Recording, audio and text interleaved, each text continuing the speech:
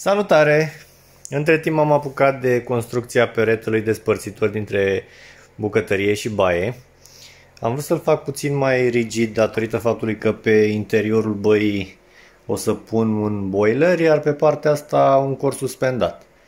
Și am ales să folosesc pentru cadru profile UV de data asta și în interior profile CV.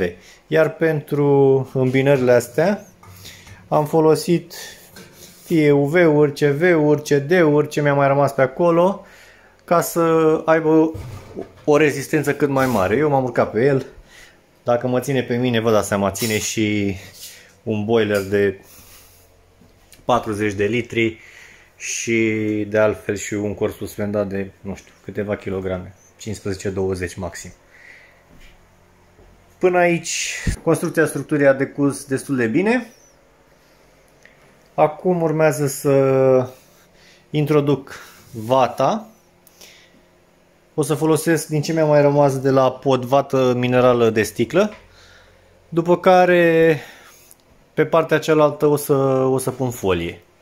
Peretele ăsta o să-l fac în momentul în care o să găsesc să achiziționez o ușă glisantă și aș vrea ca ușa glisantă să se deschidă în perete, nu la, exterior, nu la exteriorul ei.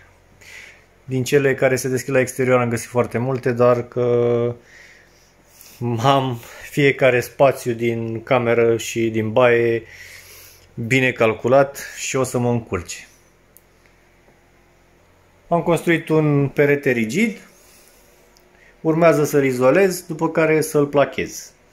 Hai să dăm drumul la treabă în continuare și vă arăt la final rezultatul.